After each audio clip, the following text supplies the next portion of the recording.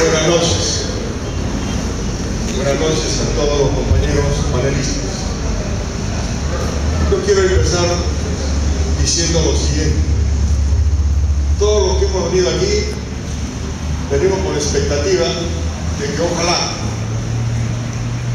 todos contribuyamos con un ladrillo para construir el edificio de unidad. A eso hemos venido. Por eso estamos aquí.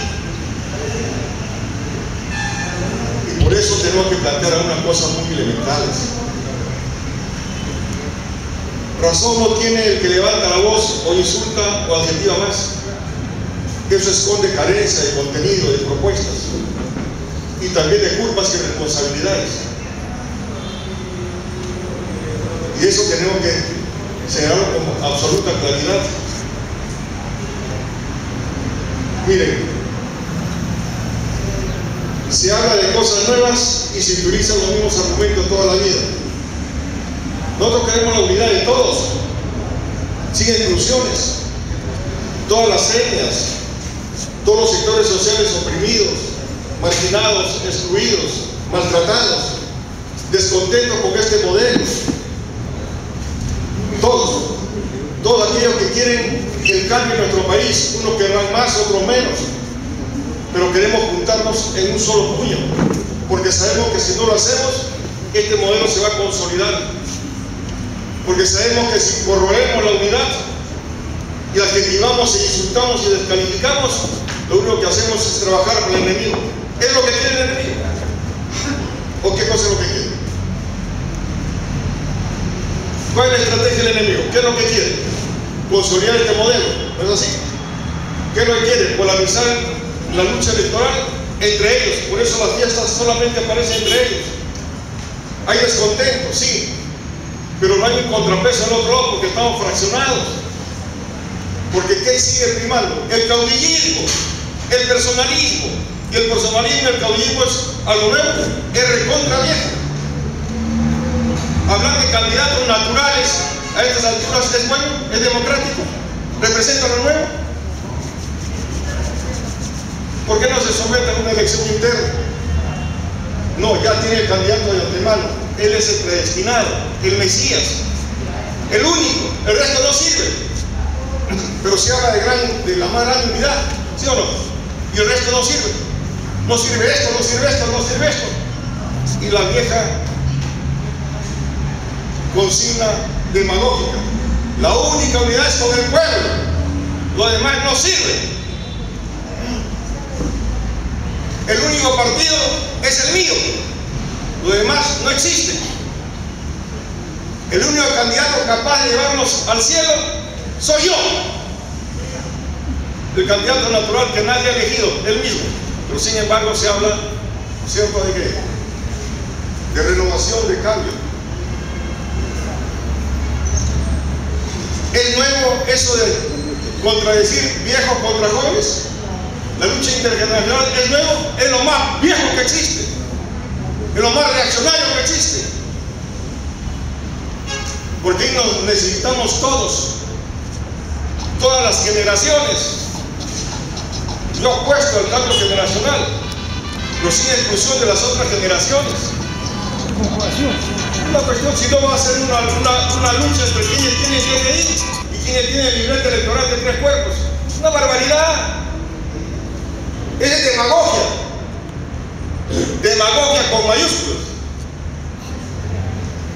Se habla de aliados con gente manchada de la mano de sangre. Oiga, si para gobernar se hace alianza con Moadés y Sendero, a ver, yo me pregunto, ¿eso es bueno? ¿Sendero entra en nuestros cálculos? ¿Ah? ¿Se han hecho alguna autocrítica alguna vez? Hay cosas pues que a nosotros no nos van a engañar. Y por eso venimos a señalar que nosotros planteamos la más grande unidad de todos y todas, de todas las generaciones, de todos los sectores explotados oprimidos, de todos los descontentos, de todos los desconocimientos, de tantas traiciones. Nada con la ultraderecha, nada con lo que continuó el modelo, y nada también con quienes asesinaron a nuestros hermanos, campesinos, estudiantes y maestros, que fue el senderismo y sus aliados. Y no lo vean con cuentos por otro lado. Nos conocemos tanto que nuestra nariz no quiere cualquiera. ¿Qué hacer para vencer al neoliberalismo? ¿Es cualquier enemigo? ¿Se le va a vencer solamente con la lengua? Adjetivando, insultando, introduciendo la corrupción interna entre nosotros, pretendiendo descalificar a todo lo demás. ¿Eso no les parece algo familiar? ¿No es fundamentalismo? ¿No es mesianismo? ¿Cuántas veces hemos escuchado ya de poner nuestra inscripción al servicio de unidad? Y sin embargo escuchamos aquí cosas lamentables. Y lo digo con absoluta certeza. No puedo permitir que se descalifique así a todos. Y decir, el único que valgo soy yo. El único que valgo para Dios es el mío. Eso no es así. Definitivamente no puede ser así. El enemigo nos tiene divididos, enfrentados. Y por eso estamos de acuerdo con la propuesta de que solamente podemos vencer a este enemigo monstruoso, grandazo, inmenso, con un solo proyecto, con un solo frente y con una sola candidatura. Si hay diversos candidatos, pues elijámoslos, votemos. Si no me gusta A, B, Z, no voto por ellos, pues, voto por el que yo quiero. Pero es una vieja práctica lamentable aún en la propia izquierda, hablando de renovación, pero haciendo lo mismo, descalificando de antemano. Nosotros planteamos elecciones primarias, donde efectivamente cada ciudadano vote por el candidato que él cree más conveniente. Vamos a hacer un paréntesis. Gonzalo García Núñez la presidencia de la República.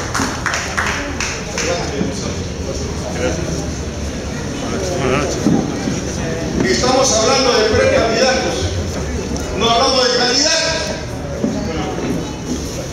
Yo le pregunto, elegir a los candidatos democráticamente es una práctica democrática, es algo nuevo. ¿Ah? Consagrar candidatos ya naturales es nuevo, es el viejo, es el conservadurismo.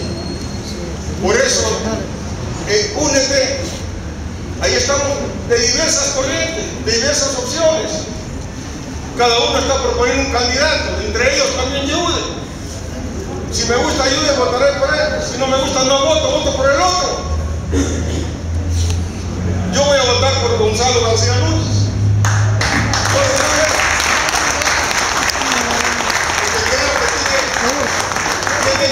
lo suficientemente, creo yo, política, técnica, moralmente, históricamente, siempre ha estado en la orientación del cambio de la justicia social, pero de antemano no podemos calificar.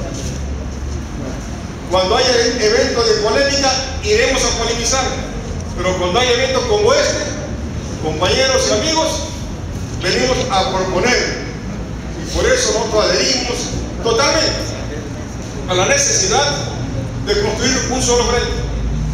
La unidad de todos los frentes. Los sectarios, los mesiánicos, los absolutistas, los, eh, fundamentalistas, en realidad van a hablar muchas cosas, pero no van a aportar a la unidad. Porque para ellos dicen, toda la unidad, pero pase por aquí. el mejor candidato, ninguno vale, solamente yo. Y lo repito por segunda vez. Nosotros, compañeros y amigos, estamos en esa ruta, trabajando con la más grande unidad de todos los partidos y no caer en la demagogia. Nada me costaría, ¿no es cierto?, levantar la voz, dar un discurso de agitación, motivarlos a ustedes y después me voy a mi casa y se van a su casa. ¿Y qué me ha planteado este para la unidad? Liquidar a los demás compañeros para quedarse solo. Es bueno. ¿Eso bueno? Eso no es correcto. Termino diciéndole lo siguiente. Dos cosas. Vamos a trabajar por la unidad de todos. Vamos a, a empujar y a incentivar y a construir eventos como este, pero por la unidad, donde todos digamos, compañeros, usted candidato, usted es candidato, usted también, precandidatos, una docena, vayamos a unas elecciones. Y ahí que el pueblo nos elija. Es la única manera de construir la unidad, porque lo otro es la antesala de la división, compañeros. Si hay dos o tres candidaturas presidenciales naturales, ya nos fregamos. Ya sabemos quién va a ganar. Y la cosa se va a poder peor. Lo otro que quiero aquí que me acompañen en el sentido siguiente. Tenemos al presidente del Movimiento de Formación Social Preso, a Gregorio Santos Guerrero. Es una prisión absolutamente injusta, completamente prepotente, inhumano, y por eso también lucharemos en este proceso político electoral por lograr su libertad, compañero.